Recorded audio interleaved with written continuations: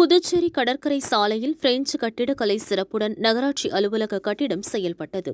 ஆயிரத்து எண்ணூற்றி எழுபதாம் ஆண்டு கட்டப்பட்ட இந்த கட்டிடம் இரண்டாயிரத்தி பதினான்காம் ஆண்டு இடிந்து சேதமடைந்தது. அதன் பிறகு ரூபாய் பதினான்கு புள்ளி எண்பத்தி மூன்று கோடியில் பழமை மாறாமல் புதிய கட்டிடம் கட்டப்பட்டது. மத்திய அரசு இதற்கான முழு பணத்தையும் கொடுத்தது. கடந்த ஆண்டு பிப்ரவரியில் பிரதமர் மேரி கட்டிடத்தை காணொலி வழியாக திறந்து வைத்தார். இருபத்தி இரண்டு மாதமாக அலுவலகம் ஏதும் இயங்காத நிலையில் முதல்வர் ரங்கசாமி அமைச்சர் லட்சுமி நாராயணன் உள்ளிட்டோர் புதிய கட்டிடத்தை பார்வையிட்டனர். புத்தாண்டில் இருந்து பழையபடி புதுச்சேரி நகராட்சி அலுவலகம் இந்த கட்டிடத்தில் முதல் தளத்தில் இயங்கும் என அவர் கூறினார். மாடியில் மக்கள் பயன்படுத்தும் வகையில் நிகழ்ச்சிகள் நடத்தப்படும் எனவும் அவர் தெரிவித்தார்.